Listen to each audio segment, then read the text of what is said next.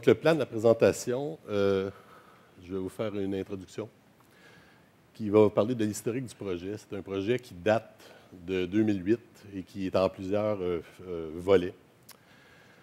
par la suite, faire la phase 1. On va parler de l'élaboration d'une grille d'indicateurs de développement durable pour les villes. Donc, par la suite, on va passer comme tel au classement des 25 plus grandes villes du Québec. Et je pense que c'est là qu'il y a plus de réactions, je dirais, parce qu'on va comparer des villes et ça, des fois, ça, crée certaines euh, attentes euh, ou certaines réactions. Donc, vous allez voir. Euh, on va parler de l'analyse des classements et de la mise à jour. Il y a une mise à jour qui va être en cours bientôt. Et on va passer aux avenues de recherche et à la conclusion générale. Donc, si je regarde le projet, ce projet-là a commencé en 2008 euh, par l'élaboration d'une grille euh, d'indicateurs de, développement durable, des IDD. Et en 2010, on a procédé au classement. 2012, la mise à jour. Et 2013, c'est les avenues de recherche qui s'en viennent. Donc, c'est vraiment le plan de la présentation. On a décidé de vous présenter, c'est la première fois qu'on le fait, on a décidé de vous présenter la présentation ou le projet au complet. Donc, ça allait impliquer de couper certaines parties, parce qu'habituellement, c'est, je dirais, deux ou trois présentations de 30 à 45 minutes. Nous allons avoir vraiment le portrait global. Donc, euh, si on regarde la phase 1, euh, la phase 1 a commencé euh, à l'été 2008. J'ai mon, collègue des HEC, Paul Lannoy, qui m'a téléphoné, je me souviens de ça, et qui m'a dit Écoute, Georges, tu es économiste et en études urbaines j'aimerais ça qu'on fasse un palmarès euh, des villes québécoises en termes de développement durable. Et euh, on avait un budget avec le Cyrano. Et là, on s'est dit, ça va être facile. On va prendre des classements qui ont été faits dans d'autres villes ou dans d'autres endroits et on va faire la même recette. Et on s'est aperçu finalement que ça ne marchait pas comme ça, que la recette ne s'appliquait pas très bien. Euh, pour la raison suivante, c'est qu'en recensant les travaux réalisés au Canada, par exemple en Ontario, aux États-Unis, Royaume-Uni, on a fait le constat suivant, c'est-à-dire qu'il n'y avait pas de consensus au niveau des indicateurs. Et là, quand je dis pas de consensus, vous allez voir ce que ça veut dire. Vous allez voir qu'il n'y a pas d'entente à savoir quels indicateurs on devrait utiliser. Euh, donc, euh, étant donné ceci, ce qui s'est passé, c'est qu'on a fait un premier article sur la sélection des indicateurs de développement euh, durable pour les villes. Donc, le premier papier qui, est apparu est un papier qui a été publié dans la revue Ecological Indicators, et c'est un papier euh, qui a été euh, beaucoup cité et pour lequel j'ai eu beaucoup de demandes, étant donné que, probablement à cause du manque de, consensus, probablement que c'est à cause de ça.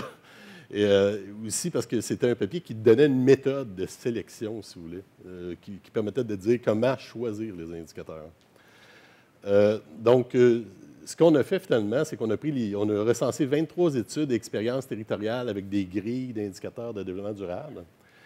Et parmi ces 23 études-là, on a fait une analyse du nombre, du choix des indicateurs, de la nature des indicateurs. Et euh, au total, on a trouvé une liste de 188 indicateurs dans les 23 études. Et après ça, on a identifié 29 indicateurs qui nous permettraient de faire le classement des villes québécoises.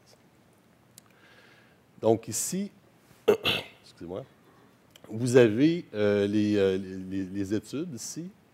Euh, je pense qu'elles sont pas toutes là, il y en manque peut-être quelques-unes, mais quoi qu'il en soit. Ce qu'on peut voir ici, c'est que dans les études les plus importantes et à travers la recension, les études ne s'entendent même pas sur le nombre d'indicateurs. Donc, par exemple, si vous avez 10 indicateurs qu'on utilise dans cette étude-là sur les villes européennes, ici, vous avez jusqu'à 86. Donc, quel nombre devrait-on choisir? C'est quoi le bon nombre d'indicateurs de façon à mesurer l'évolution en développement durable? Euh, ça, c'était pas clair.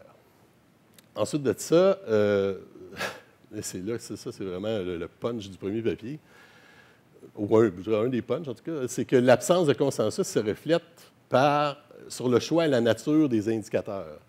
Il y a 50 des indicateurs qui ont été recensés dans les 23 études qui ont été utilisés dans une étude seulement. Ça, c'est pas peu dire. C'est comme si je vous disais, euh, on, a un sujet précis, on choisit des indicateurs, et là, la moitié des études, euh, la moitié des indicateurs ne sont, cités qu'une fois.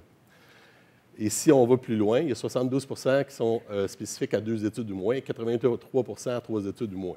Donc, on peut vraiment ici voir le manque de consensus quant au choix des indicateurs. Donc, la question ici qu'on se pose, c'est pourquoi constituer une liste réduite d'IDD? C'est-à-dire, pourquoi on n'aurait pas tout simplement pris les 188 indicateurs et dire, bon, on va tous les vendre? Bien évidemment, ça, cause un problème en termes de, collecte de données.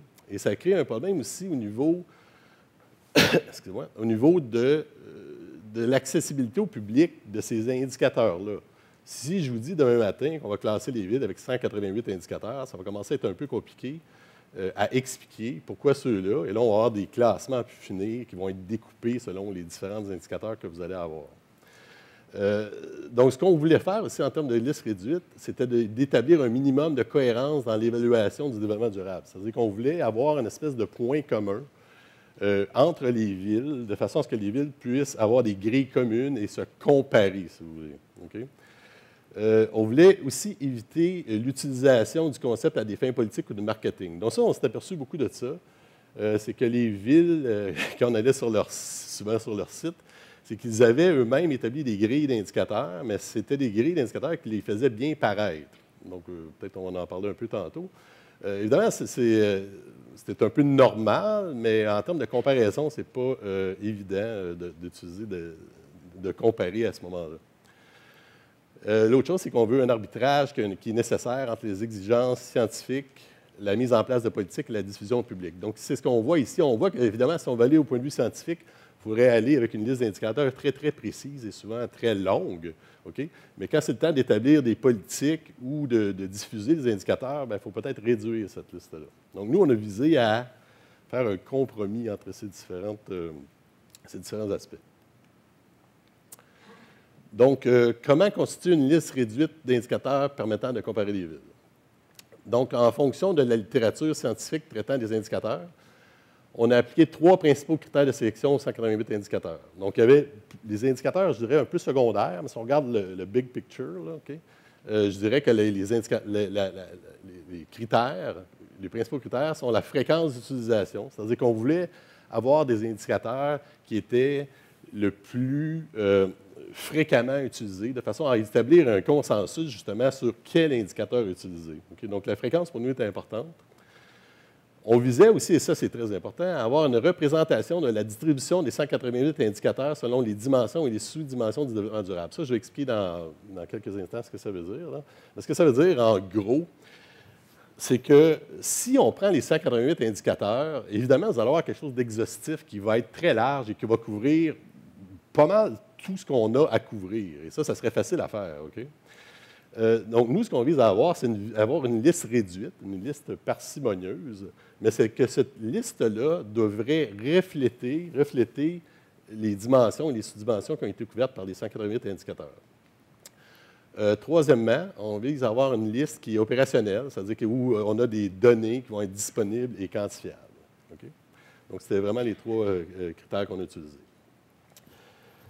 Donc, si je regarde euh, la distribution des 188 indicateurs selon les dimensions du développement durable, euh, on a été capable de, classer ces indicateurs-là euh, selon différentes dimensions. Ce qu'on a fait, c'est qu'on sait, c'est un, travail de recherche qui a été fait avec trois autres chercheurs, et en ce moment, il y a d'autres chercheurs qui sont impliqués.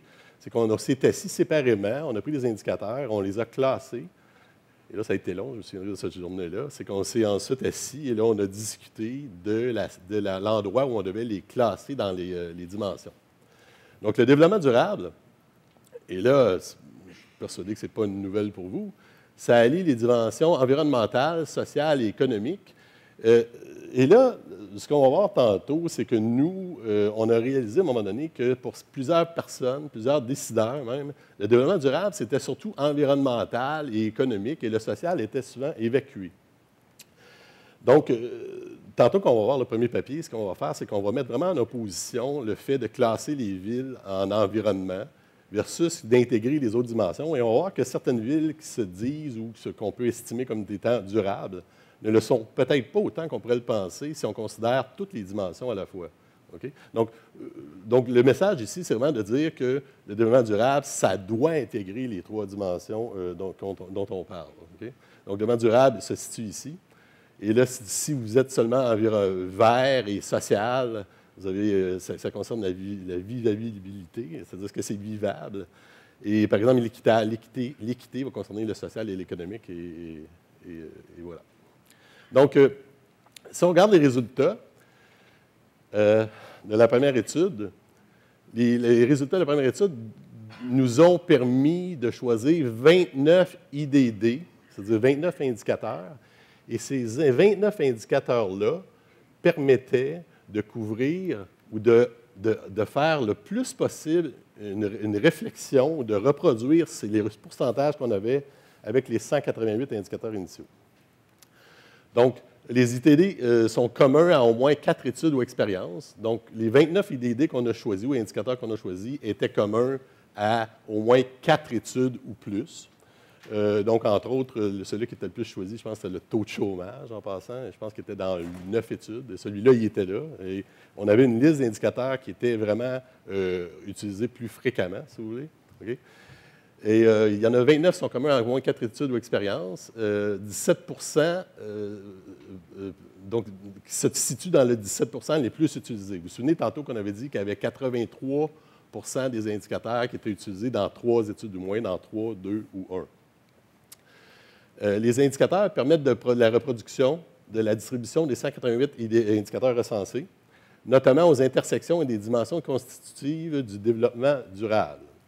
Donc, si on regarde ce que ça veut dire, ce que ça veut dire, c'est que si on divise, que nous, ce qu'on vit, c'est comme une cible. Ce que vous visez à avoir, c'est le centre ici. idéalement, ce que vous voulez avoir, c'est des indicateurs qui reflètent les trois dimensions à la fois. Donc ça, ça c'est comme euh, euh, en bas, en anglais, le bullseye, si vous voulez. nous, on vise vraiment à avoir ces, intersections-là qui vont venir couvrir deux ou les trois dimensions à la fois. Donc, euh, si on regarde ça ici, ce que ça donne, si on regarde la distribution des 188 indicateurs en termes de pourcentage, vous avez euh, les, dimensions vivables, équitables, etc. Vous avez les pourcentages ici. Et si vous aviez la même euh, distribution avec 29 indicateurs, vous auriez obtenu ces chiffres-là ici. Et nous, ce qu'on obtient, c'est 5 versus 5,8, 7 versus, versus 8, 4 versus 3,2 et 7,6,2. Donc, finalement, euh, la distribution réelle des ITD qu'on a obtenue est très similaire à celle qu'on aurait obtenue avec les mêmes pourcentages pour les indicateurs au complet. Donc là, vous avez les indicateurs retenus. Euh, euh, donc, vous avez le taux de criminalité, vous avez le coût de la vie, le taux d'activité, la qualité des cours d'eau, quantité de déchets domestiques, question sur le recyclage.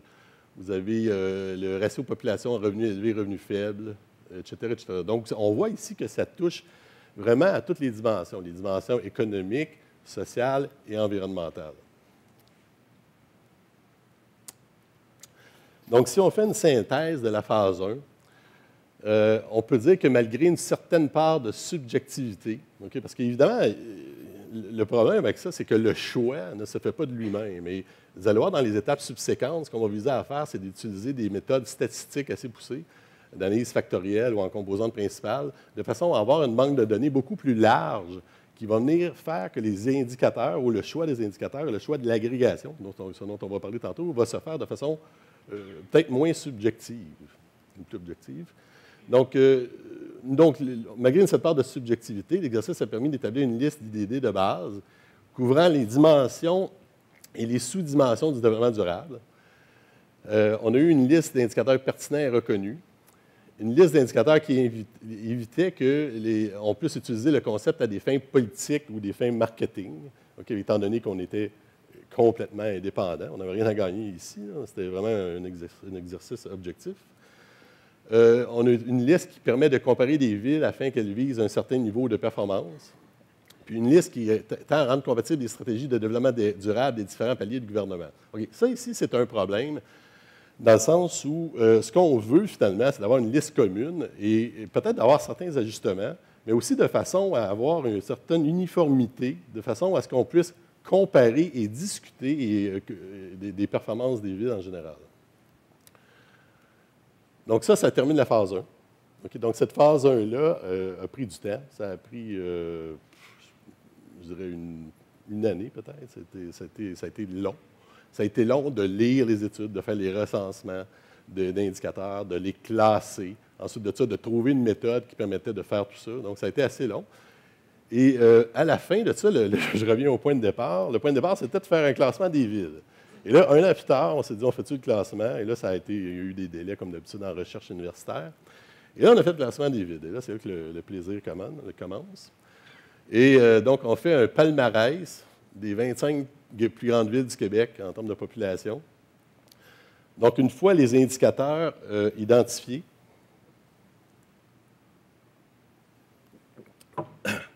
on a cherché à s'en servir de façon à faire un palmarès. Et ça, c'est dans un contexte où plusieurs villes ont adopté des politiques et des pratiques de développement durable. Donc, évidemment, tout ça s'inscrit dans un contexte où les villes posent des gestes, ont des actions, des politiques. Et là, euh, elles vont souvent s'auto-évaluer, souvent de façon euh, très bonne, je dirais. Évidemment, il y, a un, biais ici. Mais nous, euh, ce qu'on visait à faire, c'est vraiment de comparer dans un contexte où les villes le faisaient elles-mêmes. Donc, pour plusieurs, le développement durable est essentiellement associé aux seules préoccupations environnementales. Donc, vraiment, encore une fois, ce qu'on va viser à faire, ce qu'on va faire dans les indicateurs et les indices, c'est qu'on va séparer le développement durable en environnement versus le socio-économique. Et là, ce que vous allez voir, vous allez voir que certaines villes qui, étaient, qui sont très fortes en environnement, et là, peut-être ça vous surprendre, on va voir que Montréal, entre autres, Montréal arrive première étant donné des, questions de transport en commun et de densité de population. On va voir que quand on ajoute la dimension socio-économique, ça ne va pas trop bien. Donc, ça chute fortement au classement. Et c'est la même chose pour, euh, pour plusieurs villes. Et là, ce qu'on va pouvoir voir en faisant ça aussi, on va pouvoir voir qu'il y a une asymétrie très forte entre la dimension environnementale et socio-économique. Ce qui fait que les villes, au total, souvent, vont compenser un aspect pour un autre de façon à remonter dans le classement. Donc là, je donne un peu euh, un aperçu de ce qui s'en vient. Donc, OK, c'est bon. Donc, on a publié un deuxième papier, OK, euh, avec mon co-auteur, euh, Juste Rajanson, qui est ici ce soir. OK. Et euh, c'était sur le classement lui-même, et ça a été publié dans une revue qui s'appelle la Revue canadienne de recherche urbaine, Canadian Journal of Urban Research, en bon canadien. Et euh, ce classe, cet article-là, après euh, avoir été soumis, a été révisé avec beaucoup de révisions. Et le résultat final, c'est ce que je vous présente ce soir. Donc, on applique une grille d'IDD aux 25 plus grandes villes québécoises et on va classer les villes selon différentes méthodes. Vous allez voir ce que ça veut dire. Euh, comme je viens de vous dire, il y a une démonstration d'une asymétrie entre les résultats environnementaux et socio-économiques des villes étudiées. Et on va identifier, à l'aide de diagrammes en radar, les principaux facteurs qui ont influencé les résultats. Donc, évidemment, moi, ce soir, je ne peux pas vous présenter tous les diagrammes. Excusez-moi. Je ne peux pas vous présenter tous les diagrammes, mais si vous, allez voir le cahier de recherche du Cyrano ou euh, l'article euh, publié, vous allez voir, comme on dit, qu'il y a des comparaisons qui sont faites avec des diagrammes en radar de façon à déterminer les facteurs importants qui sont derrière le succès ou l'insuccès des villes. Et la bonne nouvelle pour, euh, vous, je, suis content que ce soit le cas, c'est que la ville de Québec, ça fait beaucoup mon affaire, la ville de Québec, que je présente ici, c'est que la ville de Québec euh, va, être très bonne. Vous allez voir que la ville de Québec, c'est une ville qui score, entre guillemets, très fort dans tous les domaines. OK? Donc, évidemment, j'aurais été malheureux de vous dire le contraire, mais ça, ça va être ça qui va se passer ce soir. OK? Donc, euh, le choix des villes. Donc, quand on a choisi les villes, on a décidé de choisir les villes de 40 000 habitants et plus en raison de la disponibilité des données. donc, c'est ce qu'on a fait. Euh, trois grandes catégories. Euh, on a établi les catégories selon les villes-centres. Les villes de Québec et Montréal sont les deux villes en question, en passant. Les villes de banlieue, exemple Lévis, Laval, et les villes régionales, et ça, ces, catégories-là euh, sont venues euh, plus exactement de l'arbitrage qui était fait au niveau de la revue où il y a eu la publication. Au début, on faisait moins de catégories. À un moment donné, on a établi des catégories parce que justement, euh, évidemment, c'est toujours la même chose. On va vous dire comment comparer des villes. Donc, on a dit, bon, on va les comparer en catégories, puis des fois, on va les mettre tout ensemble. Donc, les villes régionales, je disais Sherbrooke et Trois-Rivières. Donc, les 25 villes analysées, vous avez Québec, Montréal. Vous avez 11 villes de banlieue, Lévis, Terrebonne, Repentigny, les villes régionales, 12 villes régionales. vous avez toutes les villes ici. Si jamais vous êtes d'une ville en particulier, euh, il y a des bonnes chances que vous êtes là-dedans. Donc, euh, le choix des indicateurs, on a décidé de prendre les mêmes 29 indicateurs qu'on avait choisis dans le premier volet. Évidemment, euh, on a fait tout le travail précédent afin de, se rendre là. Donc, on a décidé de prendre des indicateurs. Et donc, après une analyse statistique plus poussée des données, on a repéré, on a permis d'éviter des problèmes de double comptage et de corrélation entre les indicateurs sélectionnés. Donc, on s'est aperçu, et là, c'est euh, probablement la nature même de la recherche, que les 29 indicateurs, euh, premièrement, il y, avait des, il y en a pour lesquels les données, ce n'était pas évident, ou il n'y en avait pas. Et on s'est aperçu aussi qu'il y a 20 indicateurs qui pouvaient faire le travail beaucoup, euh, très similairement aux 29.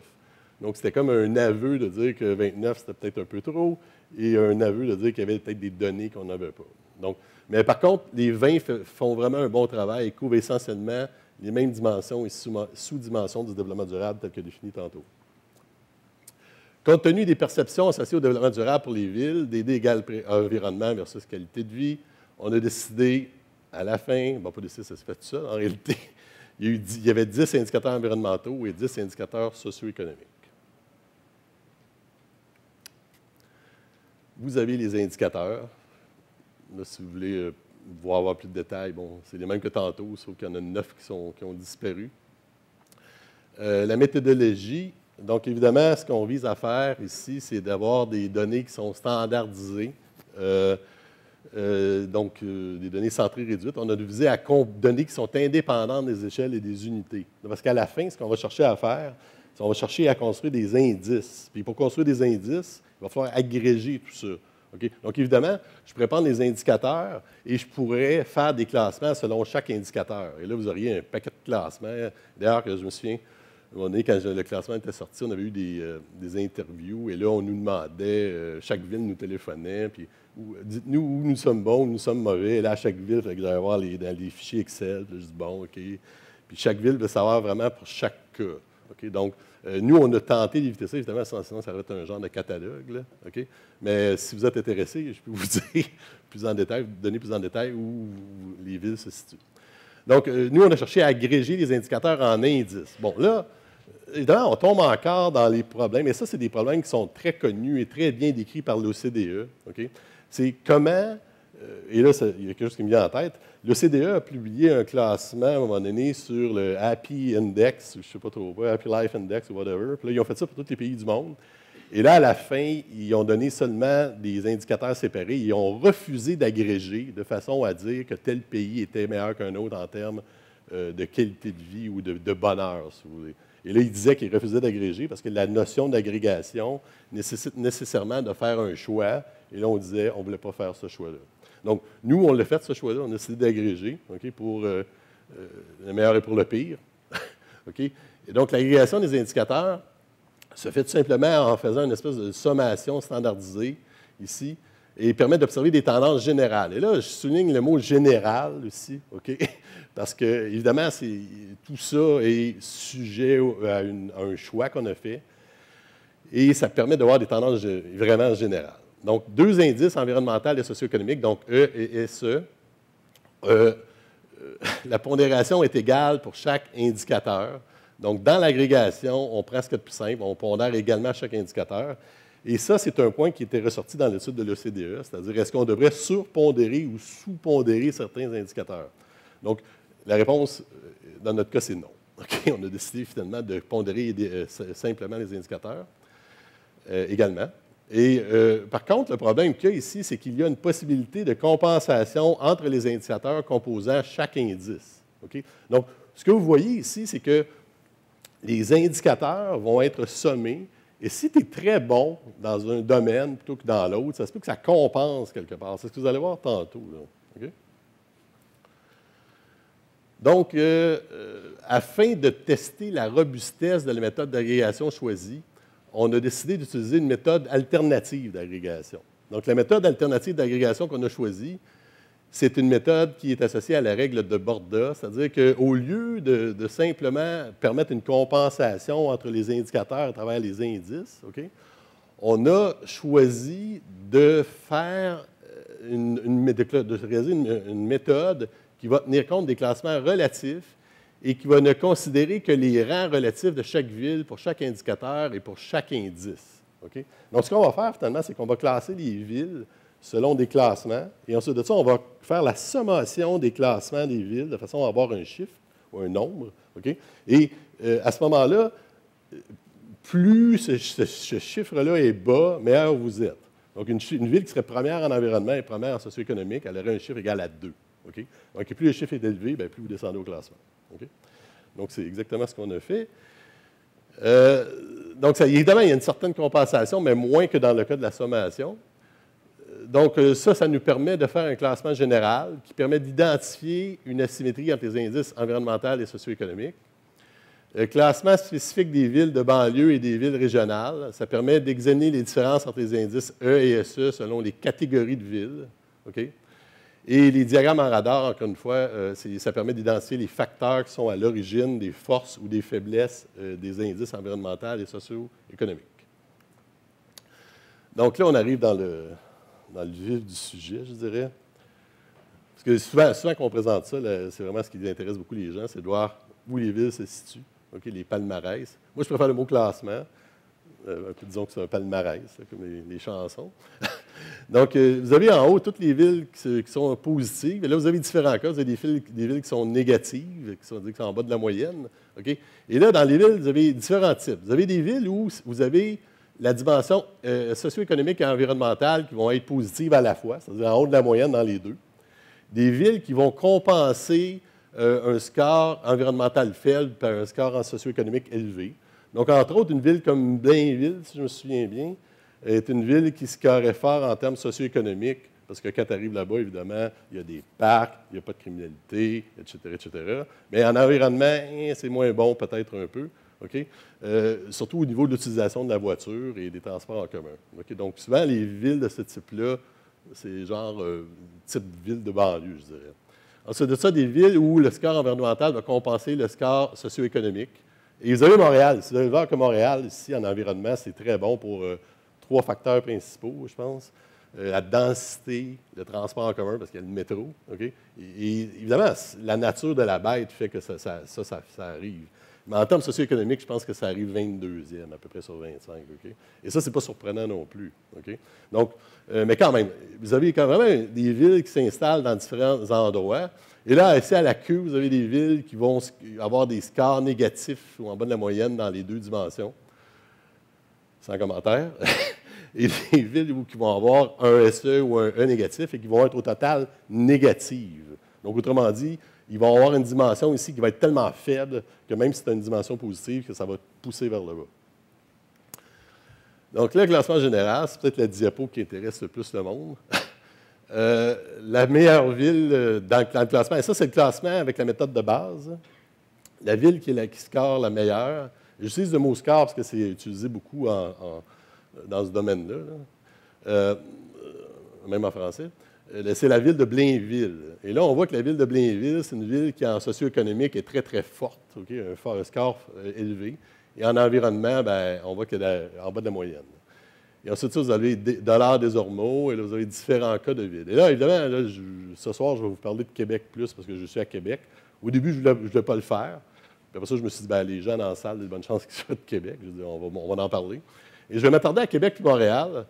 Euh, parce que c'est la seule comparaison qu'on peut faire, c'est entre les deux villes. Sinon, tout le reste, euh, c'est d'autres genres de comparaison. Mais au général, ça donnerait quelque chose comme ça.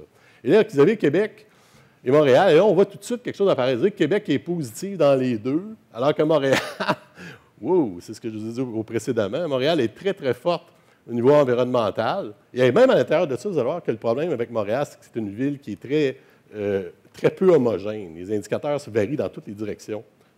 Alors que Québec, c'est, probablement la plus homogène de, tout, le classement. Vous allez voir, quand on va faire des diagrammes en radar, vous allez voir que Québec, c'est comme, vous allez voir tantôt, c'est très régulier comme performance. C'est une performance euh, comme un bon rythme dans tous les domaines. Je continue. là, la dernière au classement, pour ceux qui s'intéressent, Shawinigan, Saint-Jérôme, Trois-Rivières, Rwanda, je sais pas y a des surprises ou non intuitivement. Sans commentaire, encore une fois. Donc, le classement général des 25 villes avec euh, la règle de Borda. Donc, ça, c'est un classement qui est utilisé afin d'éviter un peu le problème de compensation qu'on avait parlé, dont on avait discuté au début. Et là, ce qu'on s'aperçoit ici, c'est que c'est très robuste selon ces deux règles-là.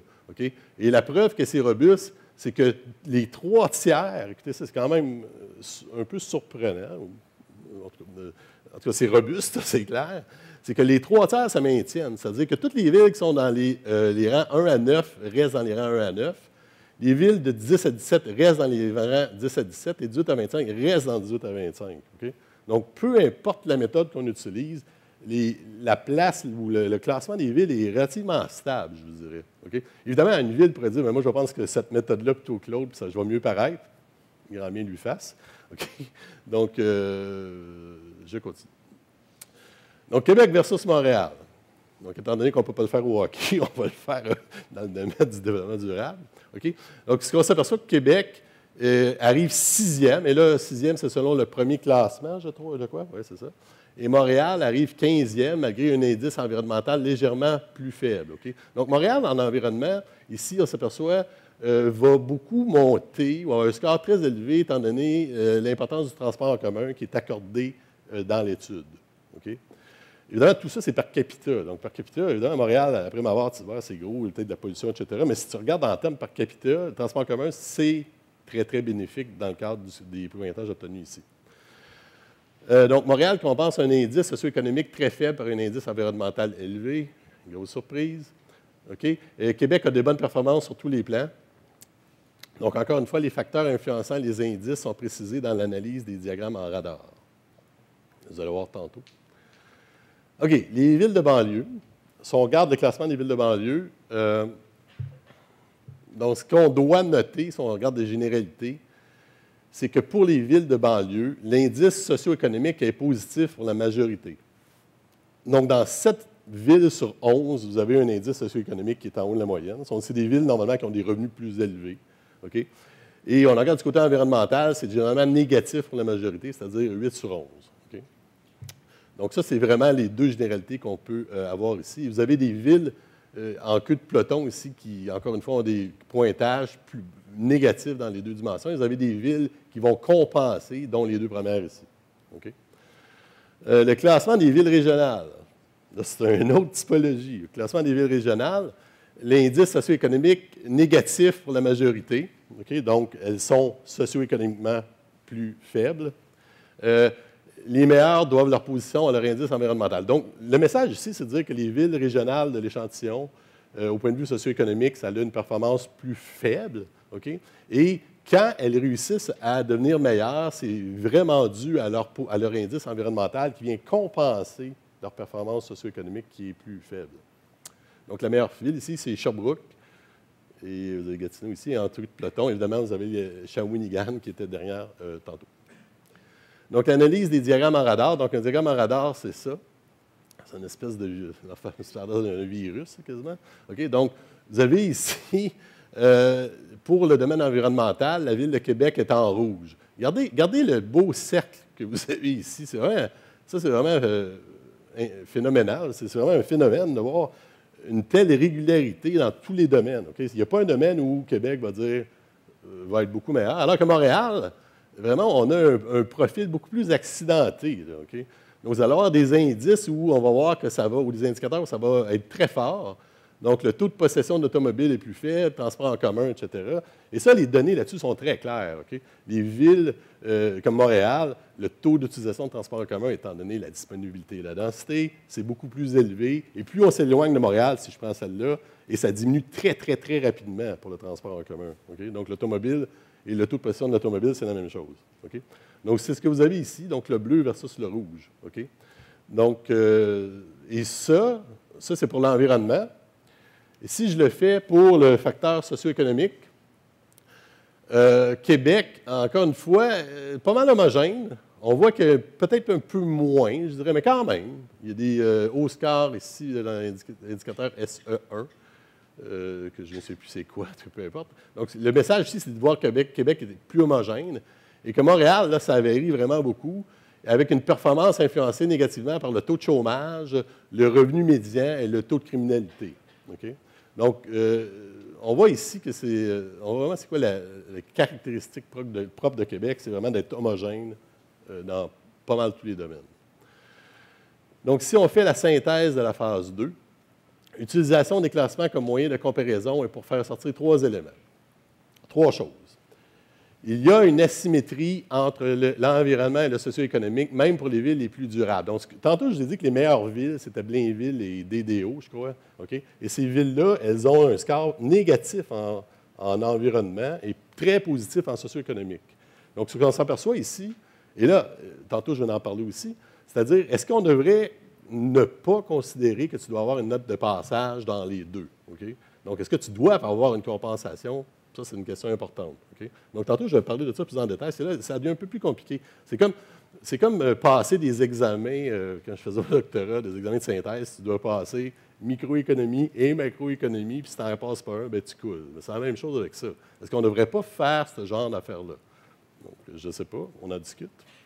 Euh, donc, c'est la même chose ici. Les villes de banlieue ont des bons scores socio-économiques versus des villes régionales avec des mauvais scores socio-économiques. Et on peut voir les facteurs influençant les résultats. Euh, évidemment, dans les papiers, c'est beaucoup plus détaillé. Il existe des limites méthodologiques souvent inévitables. Écoutez, on doit faire un choix d'indicateurs et on doit décider comment agréger. Et ça, on n'en sort pas. Que ce soit euh, Georges Tanguay ou le CDE ou n'importe qui, quand tu fais ce genre d'exercice-là, c'est la nature de la bête, c'est ça. Tu fais le choix ou tu n'en fais pas. Pour l'agrégation, ça c'est clair. Euh, pour les contraintes au niveau des données, euh, il y a des fois où on peut avoir des données régionales et qui vont concerner plusieurs villes à la fois. Des fois, il y a des données qui ne sont pas disponibles au niveau des villes. Et ça, c'est un peu, c'est pas, pas idéal. Euh, il peut y avoir compensation possible entre les indicateurs composant euh, les indices. Et ça, ça évidemment, on en, sort ou on n'en sort pas, dépendamment encore d'une fois du choix qu'on va faire. je pense que c'est peut-être là que le peut-être plus à faire ou à discuter en termes de qu'est-ce qu'on doit euh, permettre comme compensation. Et ces problèmes seront discutés dans la phase numéro 3 qui arrive juste là. Donc, euh, les mises à jour et discussion des classements. Bon. Euh, évidemment, c'est la première fois que je présente le projet au complet. Là, on présente tous les volets. OK? Mais l'année passée, j'ai présenté au CRAD, euh, je me souviens même de la date, le 9 décembre, je crois, et j'ai présenté seulement la phase, euh, pas, mal, pas mal la phase de classement, d'après ce que je me souviens. Euh, c'était beaucoup plus court, mais plus, plus détaillé, je dirais. On s'est concentré sur quelque chose. Et là, évidemment, à chaque fois qu'on a présenté des affaires dans des conférences québécoises, nord-américaines ou internationales, c'est vraiment un projet qui a roulé beaucoup, on a eu des discussions et, euh, ça, discute, ça, suscite des discussions et des, réactions, comme j'ai dit précédemment. Et peut-être surtout au Québec. je sais que j'ai fait des interviews, encore une fois, à la radio. Là, euh, ça allait dans tous les sens. Euh, donc, est-ce, que, est-ce qu'on peut faire des comparaisons intra-intervilles? j'ai eu des collègues qui, ont discuté, donc monsieur, mon collègue Mario Carrier, qui est juste là, qui, on a eu une discussion assez animée quand j'ai présenté ceci étant très amical, par ailleurs. Et on peut dire, est-ce qu'on peut comparer des villes? Bon. La réponse, c'est oui et non. Ça dépend moins que c'est fait, selon moi. mais il faut que ça soit bien fait, ça, c'est clair. Et évidemment, je suis conscient que euh, ce n'est pas idéal. Puis est-ce qu'on peut considérer comparer une ville entre elles? Bien là, si on ne peut pas le faire, on a un problème. Donc, est-ce que tu peux te comparer à toi-même? Ça, je pense que oui. Donc, le mérite des indicateurs et des indices, un peu, c'est à, à certains égards, ça serait de mesurer ta performance et de voir comment tu évolues dans le temps minimalement. Est-ce qu'on va permettre compensation des indicateurs et entre les indices? Encore une fois? Comment on va agréger et pondérer tout ça? Donc, euh, la phase 3, elle, est, terminée, je dirais. Euh, non, elle n'est pas terminée, elle est en cours. On a écrit un rapport de discussion pour le Cyrano. Et le rapport de discussion pour le Cyrano est disponible sur le site du Cyrano. Donc, euh, c'est facile à voir. Et c'est un rapport qui vise à discuter quoi faire, comment le faire, etc. Donc là, ce qui est prévu à l'agenda, euh, et là, la conférence ici, c'est vraiment le, le botté d'envoi. que vous êtes très bon au football, on parle de football. c'est vraiment le botté d'envoi de la discussion sur comment faire les prochains classements, etc. Et euh, probablement que la conférence de ce soir, de sur forme, le même format ou un autre, va être présentée à Montréal en janvier, probablement, de façon à avoir encore plus de monde. Et par la suite, on est supposé faire euh, un atelier ou une présentation beaucoup plus avec un groupe restreint de décideurs, de façon à ce que les décideurs discutent avec nous, nous disent ça, ça a de l'allure, ça, ça n'a pas d'allure, etc. là, nous, on est très ouverts. Là? Euh, donc, du moment qu'ils ne viennent pas biaiser ce qu'on veut faire. OK? Donc, on est supposé faire ça en plusieurs étapes, de façon à procéder à une mise à jour éventuelle. Donc, si vous êtes intéressé, voici, je fais ma publicité. OK? Donc, euh, c'est ce que je disais, le Cyrano, le rapport de discussion, et là, c'est le rapport d'été, euh, je ne sais pas trop quoi. Sur le site du Cyrano, c'est facile à trouver. Euh, l'objectif principal, soulever les problèmes inhérents à l'utilisation d'indicateurs et d'indices de développement durable aux fins de discussion. Un deuxième classement, ça, c'est ce qui s'en vient, et on veut en discuter avant de procéder au deuxième classement. Une mise à jour partielle des données du premier classement en fonction des statistiques les plus récentes. Donc, évidemment, les données de recensement ont changé. Le premier classement, s'était basé sur 2006. Et depuis ce temps-là, il va y avoir d'autres indicateurs avec d'autres données. Donc, s'il y a une mise à jour de 13 indicateurs, dont trois indicateurs euh, euh, qui sont modifiés, on ajoute un, indicateur. Évidemment, pour comparer les classements dans le temps, on ne pourra pas euh, faire, on va devoir utiliser les mêmes qu'au début. Mais le prochain classement va être, il va y avoir un, un classement basé sur les indicateurs précédents, un classement basé sur les indicateurs nouveaux, je dirais, qui va permettre de faire dans cinq ans une comparaison avec le nouveau et on va encore faire le lien avec l'ancien. Donc, c'est la seule façon qu'on peut faire. Donc, si on va avoir 11 euh, indicateurs environnementaux et 10 indicateurs socio-économiques. Euh, donc, euh, les verts ici, c'est les nouveaux indicateurs qui ont été changés ou les nouveaux. Donc, on voit ici qu'on s'est attardé à l'eau plus, particulièrement. Je ne sais pas si, euh, en tout cas, la, première présentation que j'ai eue au CRAD, il y a quelqu'un de la Ville de Québec qui est venu me voir à ce sujet-là. J'ai eu des courriels échangés, etc. Et là, on a discuté de l'eau. C'est vrai qu'on avait un problème d'eau. On a réglé notre problème d'eau, je crois. On verra bien. Euh, donc, en termes de discussion, les enjeux. Quels sont les quatre principaux enjeux?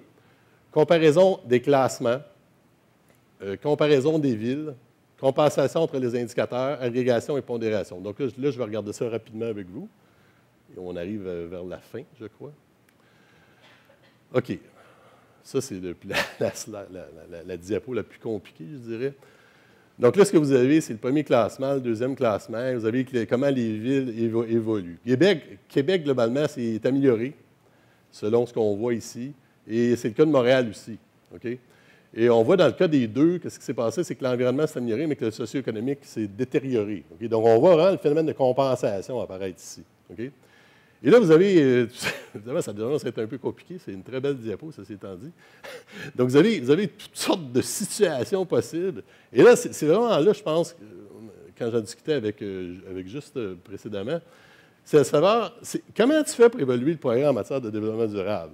Est-ce que est-ce, que ça se pourrait que tout le monde est moins bon qu'auparavant, mais que tu as monté au classement? La réponse est oui. Est-ce que tu es meilleur qu'auparavant? Eh, je ne suis pas sûr. C'est comme si tout le monde courait moins vite, mais toi, tu cours un petit peu plus vite encore. Donc, ça, ce n'est pas, pas évident. Donc, pour avoir un meilleur classement relatif, donc le classement, il peut arriver n'importe quoi en réalité. Si je prends Saint-Jean-sur-Richelieu, euh, elle a diminué, mais c'est globalement, sa note, elle a augmenté. Donc, qu'est-ce qu'on devrait faire avec ça? Donc là, ce n'est pas évident. Donc, les villes, évidemment, je pense que ça fait penser au, euh, palmarès des pays. J'enseigne ça dans mon cours de développement durable. Quand tu regardes le Canada, le Canada en développement durable, ça arrive tout le temps sixième, septième, huitième. Puis quand tu regardes les gens disent Ah oui, on est si bon que ça. Ah oui, on est si bon que ça. Puis là, on se targue de ça, alors qu'en réalité, ce classement-là, c'est un classement relatif, parce qu'on n'a pas atteint nos objectifs, mais on est encore mieux que les autres. Donc, euh, c'est la même chose avec ça. Autrement dit, est-ce que tu dois te regarder par rapport aux autres? Est-ce que se comparer, c'est que se, consoler? C'est comme ça qu'on dit. Hein, quand, c'est quoi, quoi le, le, quelque chose Quand on compare, on se console, puis quand on, se regarde, on se désole? On se désole. C'est quand on se regarde, on se désole, quand on se compare, on se console. Donc, des fois, c'est ce qu'on OK? C'est bon, un peu d'humour. D'avoir Est-ce que le but, c'est d'améliorer le le score global? Le problème avec améliorer le score global, c'est que tu peux avoir un gros problème. Ça se peut que ton score global augmente alors que tu as une dimension dans laquelle tu es toujours aussi mauvais qu'auparavant, mais soudainement, tu as eu plein de risques sur donné chez vous, puis la, situation socio-économique est beaucoup meilleure. Je prendrais l'exemple des. Euh, en, urbain, on parle des gated communities. C'est des communautés fermées avec des barrières. Ça va bien quand tu regardes à l'intérieur de ça, il n'y a pas de problème, OK? Mais quand tu sors de là, c'est pas durable? Donc, c'est la même chose avec ça. Le score global, est-ce que c'est -ce un bon, une bonne chose? Et finalement, là, je ne sais pas si on devrait faire ça comme ça. Est-ce qu'on ne devrait pas regarder les deux dimensions à la fois? Et encore une fois, ce que je n'ai pas mentionné ce soir, c'est que j'aurais pu séparer ça en trois. La sociale, économique et environnementale. Là, on l'a juste fait en deux pour simplifier les choses. Et euh, donc, est-ce que tu ne devrais pas t'améliorer dans les deux? Donc, tous ceux-là qui ont deux flèches par en haut, j'en ai dessus. Châteauguay. On voit que Châteauguay, évidemment, euh, ça s'est amélioré rendement grâce à ça. Et je pense que c'est le seul. C'est le seul? C'est une autre diapo? Ah, peu importe. Donc, vous comprenez le topo. Donc, euh, donc, ça, c'est pas évident. C'est pas évident. Qu'est-ce qu'on doit faire avec ça? Je ne sais pas, peut-être que vous allez pouvoir me le dire. La comparaison des villes. bon, encore une fois, je reviens là-dessus. Les villes sont-elles comparables? Québec versus Brassard. Vous allez me dire, ben non, Québec, ça ne se compare pas à Brassard. Il y a des gens qui vous diraient que Québec ne se compare pas à Montréal. Je n'en suis pas, mais il y en a qui, en a qui diraient ça. Est-ce que ça se compare? Est-ce que même deux villes de taille, la même taille se comparent? Peut-être que non. Peut-être qu'il faudrait faire. C'est un classement, c'est euh, quelque chose qu'un exercice euh, qui, qui, a toujours des problèmes de ce type-là. Par contre, ce que je peux vous dire, c'est qu'il existe des enjeux communs, mais qu'il y a des questions d'échelle. Les, enjeux sont, les mêmes, je crois, souvent. Mais évidemment, le problème du logement à Montréal, puis le problème du logement à, Québec, disons, le problème du logement à Montréal versus Trois-Rivières, je ne pense pas que c'est la même chose. Les types de problèmes ne sont peut-être pas les, mêmes ou selon l'ampleur. La possibilité de créer des catégories de villes similaires en utilisant une méthode statistique. Bon, là, ça, ça tombe dans l'affaire un peu plus euh, compliquée. C'est qu'on euh, pourrait créer des catégories de villes similaires, non pas en choisissant de façon arbitraire, il va y avoir des villes centres, des villes de banlieue, puis des villes euh, régionales, mais simplement en laissant l'ordinateur décider. C'est-à-dire que je vais lancer mon paquet de données, et là, ça prend beaucoup de données, et là, je vais tout mettre ça dans une base de données, je vais laisser euh, la corrélation et la causalité faire les liens, et là, on va avoir des espèces de, facteurs qui vont, qui vont ressortir. On va avoir une typologie de ville qui va être basée non pas sur le choix que j'ai fait, mais le choix de la méthode, des méthodes statistiques. Bon, là, vous allez voir, pour faire ça, que le problème qu'on a, c'est qu'on n'a pas assez de données en ce moment. Donc, il faut élargir la base de données. Ça, c'est un projet qu'on a en ce moment, en cours, et on en a parlé dans deux secondes. Euh, ensuite de ça, sur la compensation entre les indicateurs. Les performances exceptionnelles dans des domaines spécifiques peuvent influencer les résultats. Donc, encore une fois, on pourrait alors utiliser des méthodes permettant de diminuer les compensations, comme je l'ai fait tantôt en utilisant les rangs. Donc, on pourrait faire ça. On pourrait, faire des notes de passage pour chacun des indicateurs. On pourrait dire, tu peux ou tu dois passer chacun d'entre eux, et quand tu ne passes pas, je te, pénalise. Ça, c'est comme des vrais ou faux dans des examens. il y a des professeurs qui vont, savoir de quoi je parle. Et quand je te dis, OK, si tu réponds puis tu te trompes, c'est double pénalité, parce que tu ne peux pas aller à la pêche. C'est la même affaire avec ça. On pourrait faire ce genre d'affaire-là. Dire, OK, si tu coules une affaire, ben, tu vas être pénalisé. C'est-à-dire utiliser des, non pas quelque chose de linéaire, mais quelque chose de, logarithmique. Je continue. Donc, l'agrégation et la pondération des indicateurs. L'agrégation, euh, l'agrégation qu'on a fait ce soir, c'est basé sur le modèle du développement durable. C'est-à-dire que j'ai fait une agrégation qui est basée selon les dimensions sociales, économiques et environnementales. Euh, il peut y avoir d'autres formes d'agrégation. Le modèle que j'ai utilisé, ce n'est pas le seul modèle qui existe. Donc, on peut avoir des regroupements factoriels basés sur des analyses de corrélation entre des indicateurs, et ça pourrait donner des, regroupements selon des approches basées sur la, dimension, c'est ce qu'on a fait ce soir. On pourrait retomber sur la même chose. Ça se peut que je fasse une étude et je décide de laisser les statistiques décider et que le regroupement de facteurs soit le même que celui-là du développement durable. À tel moment, on aurait un résultat incroyable parce qu'on validerait statistiquement que le modèle qu'on utilise depuis le début est valide alors qu'on l'a fait de façon totalement exogène. Donc, moi, je pense que ça, ça c'est très prometteur parce qu'on peut faire des, des regroupements sectoriels, c'est-à-dire c'est quoi selon logement, transport, etc. Et là, on aurait différents typologie de ville. On pourrait faire une approche sur l'approche des capitaux, basée sur le capital naturel, capital construit, etc., comme le gouvernement du Québec le fait. Donc, ça, on pourrait le faire avec des méthodes statistiques. Euh, la pondération. Est-ce qu'on doit surpondérer ou sous-pondérer les indicateurs en fonction de différents objectifs? nous, on a décidé de pondérer également les indicateurs. Donc, si on change de pondération, ça change le classement, ça c'est clair. Donc, la phase 4, les années de recherche. Donc, ça, c'est un projet que j'ai en ce moment avec Juste et François Desrosiers ici. C'est la création d'une base de données d'indicateurs de développement durable pour les villes canadiennes de 50 000 habitants et plus. Donc, c'est à peu près 110 villes. Et ça, je pense que d'ici le temps qu'on ait fini, peut-être c'est plus que ça, de 110 à 125, je ne sais pas encore. Donc, évidemment, euh, là, on aurait évidemment, le problème de données se pose encore, mais dans nos cartons, on a présentement cette ambition-là de faire un classement, un classement carrément canadien. Et ça, c'est très ambitieux. Mais l'avantage de ça, c'est que ça, a beaucoup de données. Si tu as beaucoup de données, tu peux faire des analyses factorielles, des analyses beaucoup plus poussées, parce que tu peux avoir des propriétés statistiques qui sont, qui sont valables seulement dans des grands échantillons, ce qui n'est pas le cas euh, ici avec l'échantillon limité qu'on a. OK? Donc, une fois mesuré et approfondi les performances, comment on va avoir, des, scores pour toutes les villes? Là, je trouve ça très excitant. Un coup, vous avez des scores pour toutes les villes. Et là, c'est là que c'est encore plus intéressant. C'est comment tu peux utiliser les scores, les pointages obtenus, de façon à faire d'autres choses que faire des classements.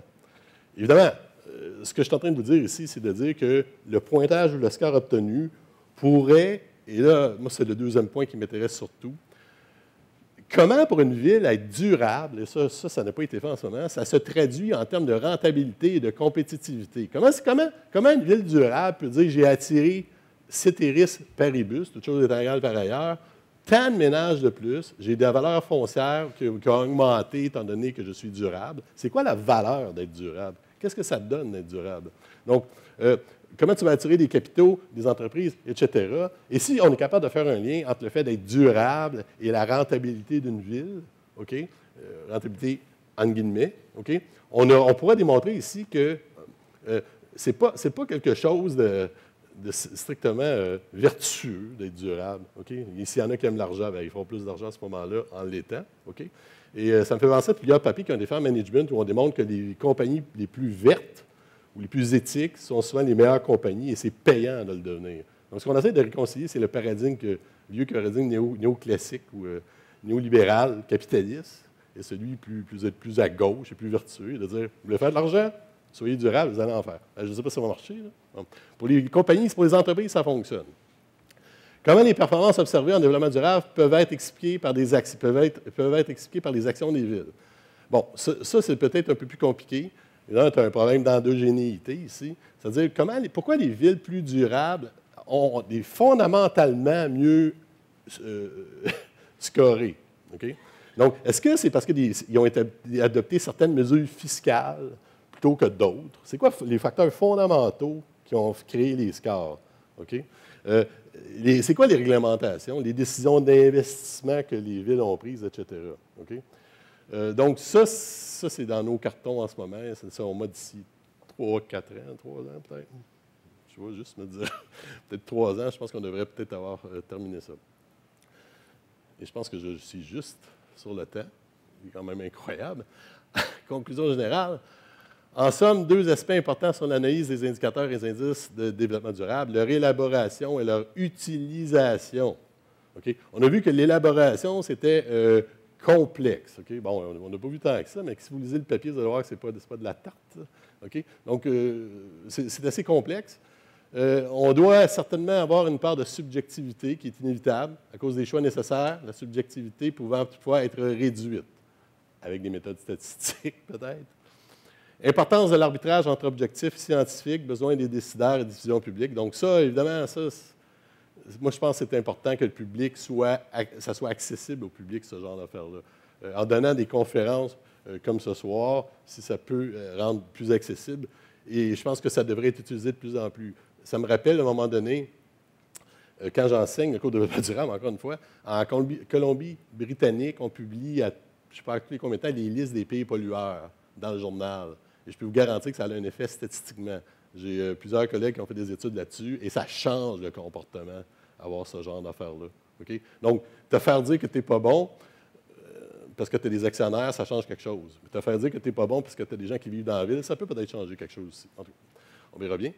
Évidemment, évidemment, ce qu'on voudrait, c'est que tout le monde soit meilleur, mais hein, je ne sais pas si ça peut arriver. Donc, l'importance de l'arbitrage entre les objectifs scientifiques besoin des décideurs de publique, l'importance d'une grille commune d'IDD pour éviter euh, que ce soit utilisé, le développement durable, euh, à des fins marketing ou politiques, pour permettre une comparaison des villes, pour encourager à maintenir un certain niveau de performance. Donc, la grille d'indicateurs, ça permet de t'auto-évaluer, de te comparer et de t'obliger. Quand tu ne donnes pas de valeur à quelque chose, la valeur que tu donnes, c'est zéro. ça, c'est un message qu'en économie, on donne souvent.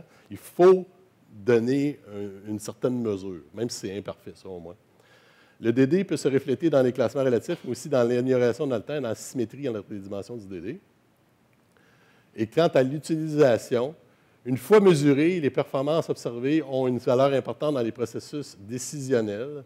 Ils peuvent servir à évaluer l'efficacité de certaines mesures politiques à la suite d'une analyse qui met en relation les types de méthodes utilisées en matière de DD et de résultantes. Donc ça, on l'a déjà fait en tourisme. On a fait le même genre de... on, est des indicateurs d'extension en tourisme, des indicateurs de tourisme durable, et on a développé une méthode qui permet d'évaluer une politique touristique et de dire c'est quoi l'impact sur les indicateurs et de choisir. C'est comme une méthode d'évaluation, si vous voulez. donc, on s'en va dans, dans ce sens-là. Depuis, les villes cherchent à maintenir et attirer des investissements et une main-d'œuvre qualifiée sur leur territoire. Dans ce contexte, elles ont l'avantage à savoir si les efforts qu'elles entreprennent en matière de DD sont rentables en termes d'attractivité. Donc, ça, c'est où on s'en va en ce moment. Et c'est la fin de ma présentation. Je vous remercie beaucoup.